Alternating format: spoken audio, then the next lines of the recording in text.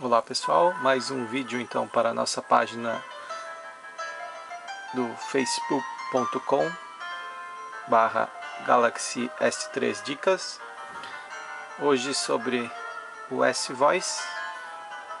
O S-Voice é um, um, aplicativo de assistente de voz do Galaxy S3 ah, Por padrão, ele vem configurado sendo que dois toques no botão Home abrem o S-Voice.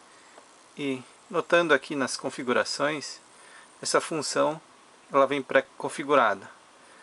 Se você desativar esses dois toques no botão Home para abrir o S-Voice, uh, vai obter uma melhoria, uma otimização no seu Galaxy S3 vou demonstrar isso. Entrando aqui na Play Store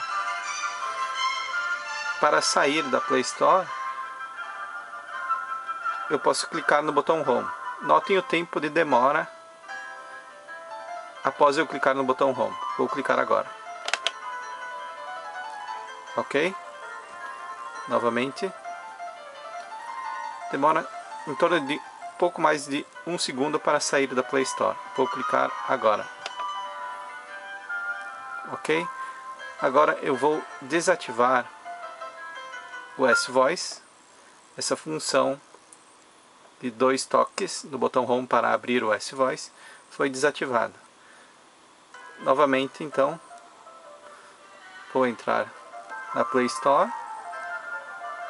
Agora vou clicar no botão Home. Notem a demora Vou clicar agora.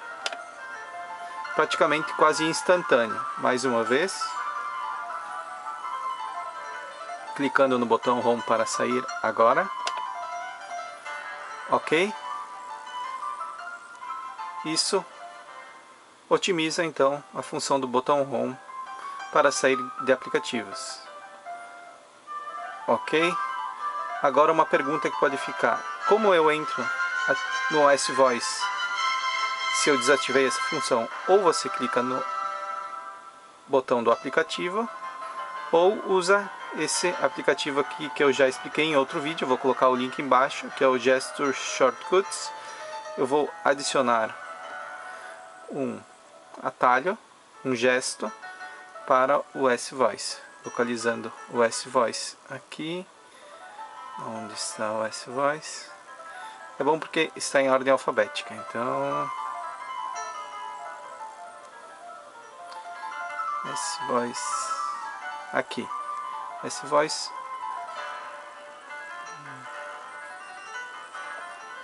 S. V. Treinando. Vou treinar mais uma vez. S. V. Save. Ok. Então quero entrar no S voice. S V ok? É essa dica aí então, pessoal. Ok? Gostou dos nossos vídeos? Curte aí. E mais dicas no link aí embaixo também da nossa página do Facebook Galaxy S3 Dicas. facebook.com Galaxy S3 Dicas. Até mais, pessoal.